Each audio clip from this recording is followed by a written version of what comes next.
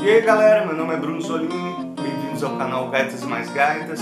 Aqui eu tento postar para vocês toda semana uma, duas às vezes até três tablaturas de músicas para vocês aprenderem a tocar na gaita. Então se vocês gostarem do vídeo, curtirem o canal, não se esqueçam de deixar o like, compartilhar com os amigos, se inscreverem e ativar as notificações. E a tablatura de hoje é da música Baby Scratch My Back, um grande clássico do blues do gaitista Slim Harpo. Essa música foi gravada em 1965 e depois disso regravada por muitos gaitistas de blues. E para ter acesso à backing track dessa e de todas as músicas do canal, a tablatura em PDF e a vídeos exclusivos toda semana, basta se tornar um membro do canal. Vou deixar o link na descrição para quem tiver interesse.